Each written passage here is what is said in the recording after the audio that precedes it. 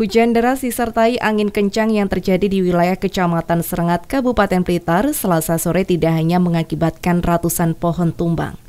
Atap puluhan bangunan terbuat dari espes milik warga diterbangkan oleh angin kencang. Selain itu, hujan deras dan angin kencang juga menyebabkan tembok bangunan kosong setinggi 3 meter di lingkungan Kelurahan Kauman roboh menimpa rumah warga. Satu orang penghuni rumah mengalami luka bagian tubuh akibat tertimpa reruntuhan bangunan rumah.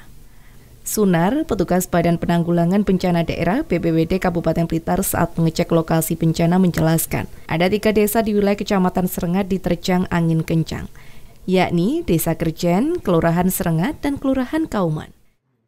Terparah di Kelurahan Kauman, satu unit bangunan rumah hancur tertimpa tembok bangunan, menyebabkan penghuni rumah mengalami luka serius di bagian kepala dan kaki. Angin kencang dan hujan yang deras.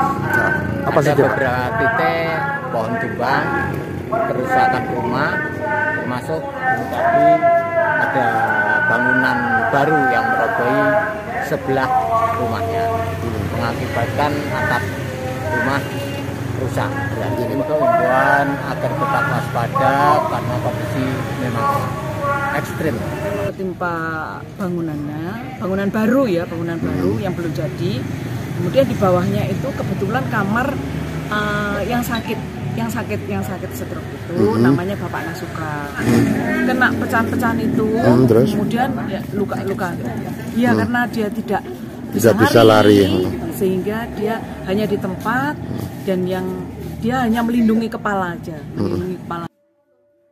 Hingga kini pihak BPBD Kabupaten Blitar belum bisa mengetahui secara pasti jumlah kerusakan dan pihaknya masih melakukan verifikasi tingkat kerusakan di lapangan. Dan BPBD menghimbau warga seiring cuaca ekstrim untuk berhati-hati saat angin kencang terjadi agar mencari tempat berlindung yang aman. Dari Blitar, Muhammad Asrofi melaporkan.